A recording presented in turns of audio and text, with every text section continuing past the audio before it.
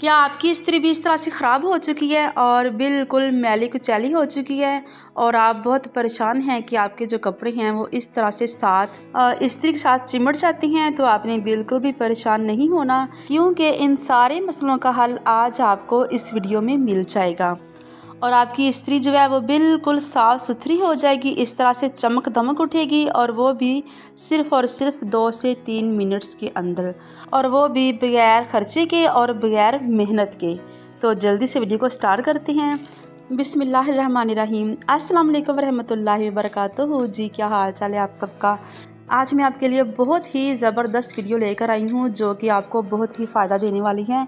अगर आपकी भी स्त्री इस तरह से ख़राब हो चुकी है और मैली कुचैली हो चुकी है तो इसमें इतनी कोई बड़ी बात नहीं है और ना ही कोई परेशानी वाली बात है, क्योंकि सबके घरों में कपड़े होते हैं माया वाले और जब हम कपड़ों को माया लगाते हैं, कल्फ लगाते हैं ना तो उससे जो कपड़े हैं ना वो सॉरी जो स्त्री है वो जल्दी ख़राब हो जाती है और जब स्त्री ख़राब होती है तो ज़ाहर है फिर आपके कपड़े जो होते हैं वो भी बाद में ख़राब हो जाती हैं। तो फिर जल्दी से स्त्री को साफ़ कैसे करना है वो भी मैं अभी आपको बताती हूँ। ये मेरे पास है समंदर की झाग जिसको हम समुद्री जाग बोलते हैं, ये वो वाली समुद्री जाग है तो आपने इसको, इस्त्री के ऊपर हल्का हल्का संभलना है। पहले इस्त्री को आप थोड़ा सा गर्म कर लेंगे, उसके बाद आप इसको इस्त्री के ऊपर हल्का हल्का मलते जाएँगे। ये जो समुद्री जाग है, ये आपको पंसार की दुकान से बिल्कुल ईज़िली मिल जाएगी। और इतनी महँगी भी नहीं है, मैं लेके आई थी तीस रुपये की। तो तीस रुपये में आपकी जो इस्त्री है, बिल्कुल साफ़ सुथरी हो जाएगी और दोबारा से चमक उठेगी, ऐसे जिस तरह ये बिल्कुल नहीं होती है।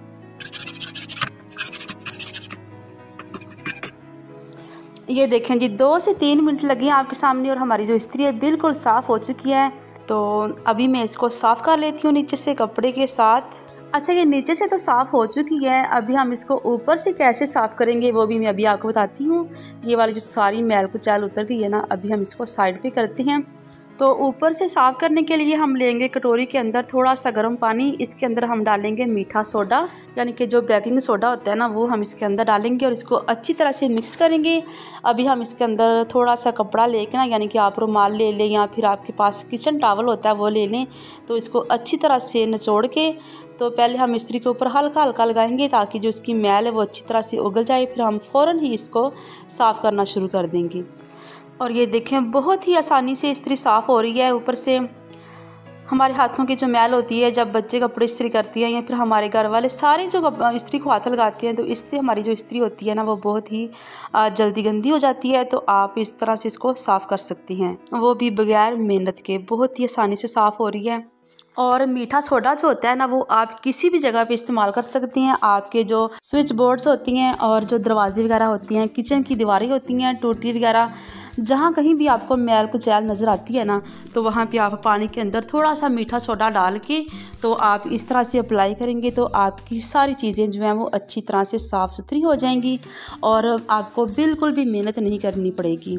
तो आप इस तरह से सारी चीज़ें साफ़ कर सकते हैं। आगे माशाल्लाह से माह रमज़ान भी आने वाला है तो मैं रोज़ाना कोई ना कोई चीज़ इस तरह से साफ़ करती रहती हूँ। अभी से मैंने सफाइयाँ करना शुरू कर दी हैं। तो अल्लाह ताला से दुआ है कि आने वाला माह रमज़ान जो है वो हम सब के लिए बाबरकत साबित हो और ये मुबारक महीना अल्लाह ताला हम सब के नसीबों में करें। आमीन सुम्मामीन तो यहाँ भी हमारी जो इस्त्री है वो अच्छी तरह से साफ़ हो चुकी है। अभी मैं आपको इसकी मुकम्मल लुक दिखाती हूँ। ये देखें जी, आपके सामने जो इस्त्री है बिल्कुल दो से तीन मिनट्स के अंदर बिल्कुल मुकम्मल तौर पे साफ़ सुथरी हो चुकी है। आप भी इस तरीके से करेंगे तो आपकी इस्त्री बिल्कुल साफ़, शफाफ और चमकीली हो जाएगी और इसके ऊपर स्क्रैचेस भी नहीं आएँगे। और फिर आप जो कपड़े हैं बहुत ही आसानी से इस्त्री कर सकते हैं। आपके जो कपड़े हैं, वो इस्त्री के साथ बिल्कुल भी नहीं चिपकेंगे। तो उम्मीद है कि आपको आज की वीडियो अच्छी लगी होगी। अगर अच्छी लगी हो तो आप जल्दी से मेरे चैनल को सब्सक्राइब कर दें और मेरी वीडियो को भी लाइक कर दें और मुझे दुआओं में याद रखिएगा। आप सबकी दुआओं की बहुत ज़रूरत है। अल्लाह ताला आप सबको भी अपने हिफ्स अमान में रखे। हमेशा खुश रहें, आबाद रहें और ज़िंदगी की तमाम खुशियाँ आपको नसीब हों। आमीन सुम्मामीन तो फिर मिलते हैं अगली नई और बहुत ही मज़े की वीडियो में। तब तक के लिए अल्लाह हाफिज़।